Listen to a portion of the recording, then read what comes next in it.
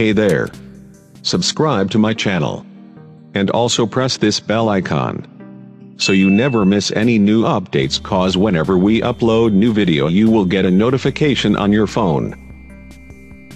नमस्कार मैं हूं मेघा वर्मा सिने आजकल में आपका स्वागत है चलिए बढ़ते हैं खबरों की तरफ अमित कुमार के मुताबिक संविधान विदों की अकादमी जनगणवादी भारत ने भारतीय संविधान और सरकार विषय पर चर्चा के लिए देशव्यापी अभियान का आज ऐलान किया। संस्था के निदेशक और इलाहाबाद उच्च न्यायालय के वरिष्ठ अधिवक्ता ए पी एन गिरी ने यहाँ इस आशय के संबंध में जानकारी दी। उन्होंने बताया कि इसके लिए दिल्ली उच्च न्यायालय के अधिवक्ता अरविंद कुमार चौधरी को राष्ट्रीय संयोजक नियुक्त किया गया है और उन्हें 21 सदस्यीय कार्य समिति बनाने के लिए अधिकृत किया गया है। केसरिया के अनुसार, आगामी लोकसभा चुनाव लड़ने के लिए राजद के पूर्व विधायक बबलू देव केसरिया पीताम्बर चौक के समीप सैकड़ों गाड़ियों के काफिले के साथ चौक पर पहुँचे। पहुँचने के बाद कम्युनिस्ट पार्टी के नेता स्वर्गीय पीताम्बर सिंह की मूर्ति पर माल्यार्पण किया और सभी कार्यकर्ताओं को संबोधित करते हुए कहा, मुझे राष्ट्रीय जनता दल ने इस ज़िले में सिपाही बनाकर भेजा है। मैं अपने सभी गरीब साथियों का साथ दूँगा और कदम से कदम मिलाकर चलने का काम करूँगा।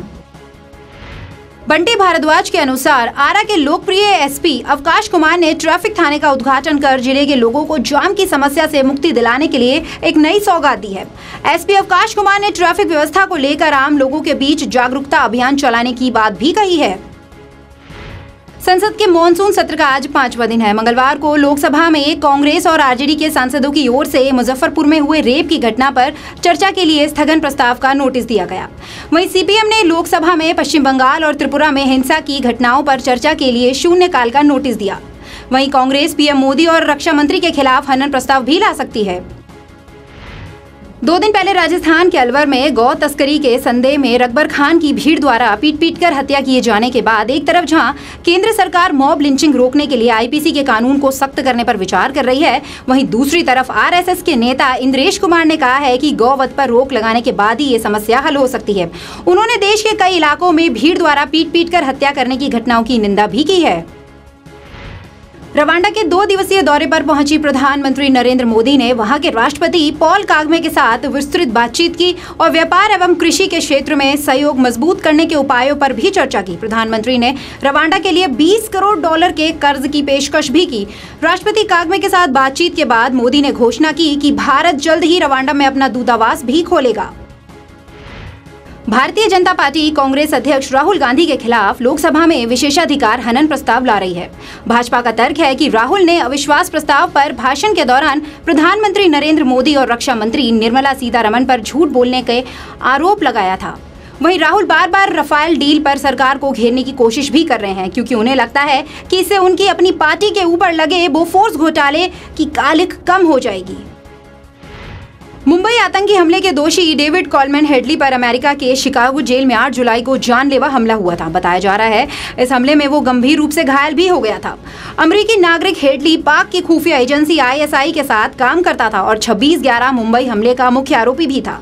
24 जनवरी 2013 को अमेरिका की कोर्ट ने उसे दोषी करार दिया था। मुंबई हमले की भूमिका के लिए उसे 35 साल की जेल भी हुई थी। आपको बता दें, हेडली का असली नाम दाऊद सैयद गिलानी है।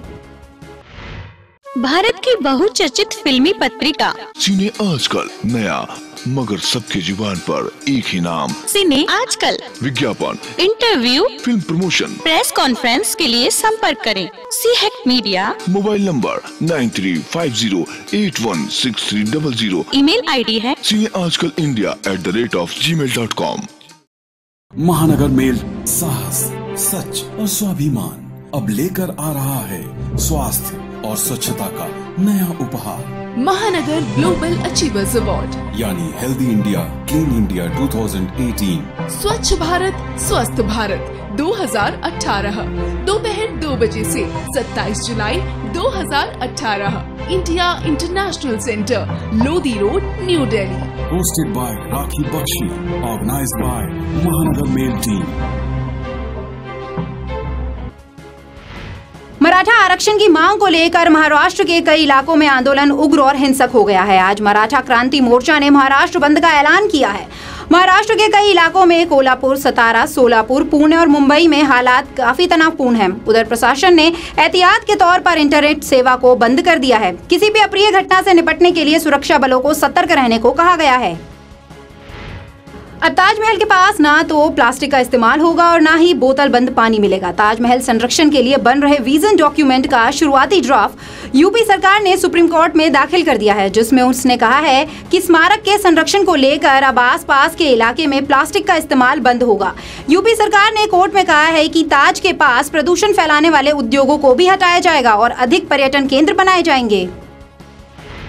कांग्रेस की विपक्षी एकजुटता और महागठबंधन की कोशिशों के बीच इस साल मध्य प्रदेश छत्तीसगढ़ और राजस्थान में होने जा रहे चुनावों के मद्देनजर बसपा सुप्रीमो मायावती ने बड़ा बयान देते हुए कहा है कि इस राज्य में कांग्रेस के साथ तालमेल उसी दशा में हो सकता है जब हमको गठबंधन के तहत सम्मानजनक सीटें मिलेंगी। ऐसा नहीं होने पर हम अकेले चुनाव लड़ने की तैयारी भी कर सकते हैं।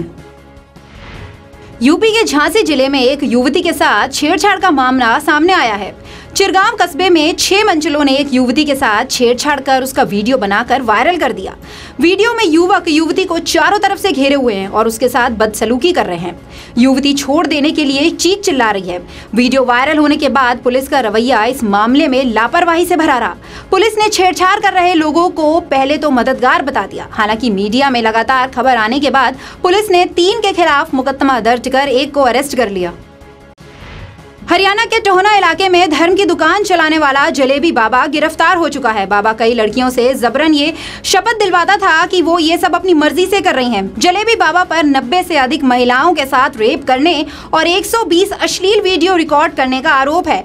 बाबा पिछले 20 सालों से धर्म कर्म की आड़ में महिलाओं के साथ रेप कर रहा है और उन्हें ब्लैकमेल करने की कोशिश भी कर रहा है। वो तंत्र मंत्र के नाम पर महिलाओं को अपने झांसे में फंसाता था। मशहूर फ़िल्म निदेशक इम्तियाज़ अली की फ़िल्म लैला मजनू का दूसरा टीजर रिलीज़ हो गया है। फ़िल्म के नए टीजर में इम्तियाज़ खुद लैला मजनू के बारे में बात करते हुए दिखाई दे रहे हैं। इस वीडियो में वो कहते हैं कि प्यार तो उस जमाने में होता था, लेकिन अब प्यार का चेहरा बदल गया है। सिने आजकल में मेरे साथ बस इतना ही। आगे की खबरों के लिए आप बने रहिए सिने आजकल के साथ। नमस्कार।